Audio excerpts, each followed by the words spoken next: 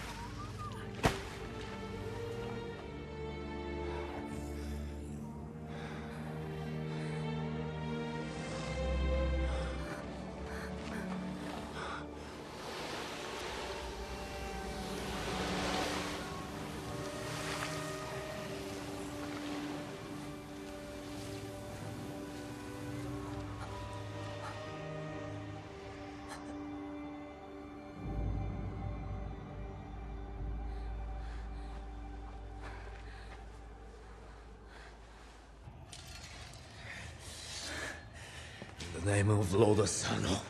Uvako!